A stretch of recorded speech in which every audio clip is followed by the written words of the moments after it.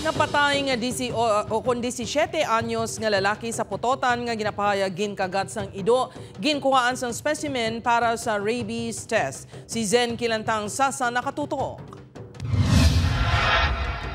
Nagpatigayon sang investigasyon ng Iloilo Provincial Health Office angot sa kamatayon sang 17 anyos nga solterito nga ginapahayag na kagat sang ido sang Hunyo kag ginbawian sang kabuhi sang Enero 4. Sunod sa Iloilo PHO, ginpaanggid ang balatian sang pasyente sa rabies infection bangod man sa nakita nga simptomas sa bata.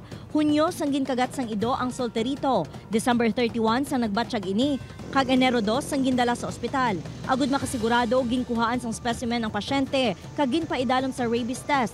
Mago ang resulta sa sulod sang 10 to 14 days. Ag- ang iyang ah, mga sintomas ah, pwede nga gintugas ang naka, na, na sari nga balatian pero base sa history kag kagat sang ido kag iban nga sintomas nga nagwa kaangay sang rabies ang pasyente consider naton subo nga kaso sang rabies pending ang results sang rabies test sang iya nga specimen Sa investigasyon sang Iloilo PHO, ang pasyente ang wala makabaton sang bakuna halin sang ginkagat sang Hunyo. Base sa pagpangusisa pa nila, Oktubre sang ginpatay ang ido nga ginatudlo nakakagat sa solterito. umigos ang bata nga ginkagat gintudlo niya nga ang ato nga ayam mismo nga naging patay no sang October amo to ang nakakagat sang sang bata so probably basi kun may ano lang man nga basi ina upod man sa mga ayam man sang ina nga Sa datos sang probinsya, lima ang na-record nga human rabies death halin Enero tubtob Disyembre 2023. Ini ang halin sa Gimbal, New Lucena, duha sa Carles kag Mina.